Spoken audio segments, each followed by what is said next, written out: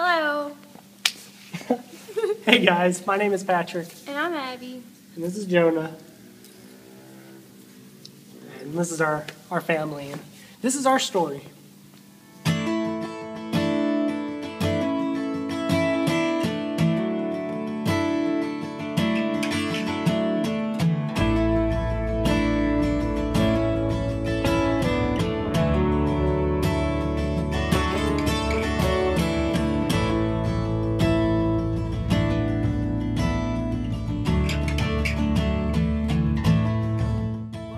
Short, uh, we met each other early last year through some mutual friends.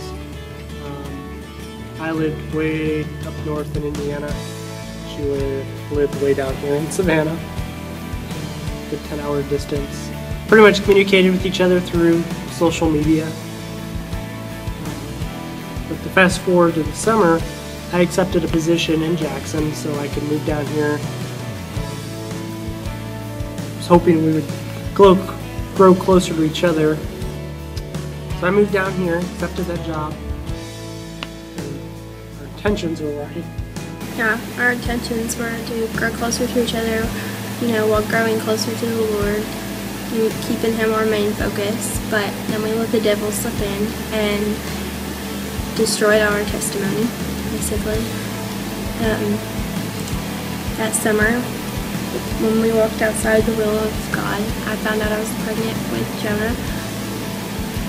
And shortly after that, we sought counseling from our preacher and through laying our our mistake down on the altar of the Lord and just letting him change us and not let not letting what other people say basically about us or let what other people think because we we knew in our heads what other people probably thought of us So, guys, we didn't just come here today to tell you our testimony.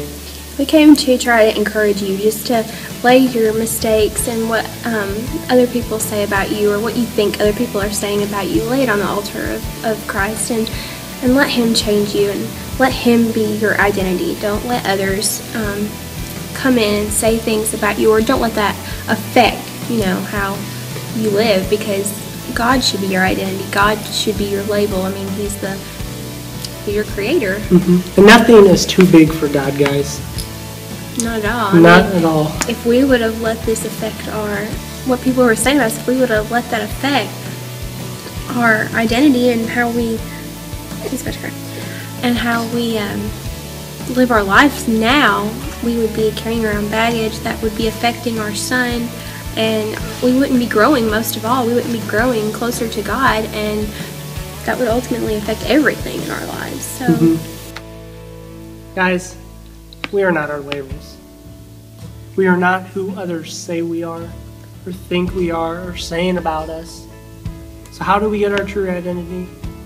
We get our true identity by laying these things, who laying our labels that people are labeling us as, or or who we think we are, before God, and let God define us, and become who God says you are.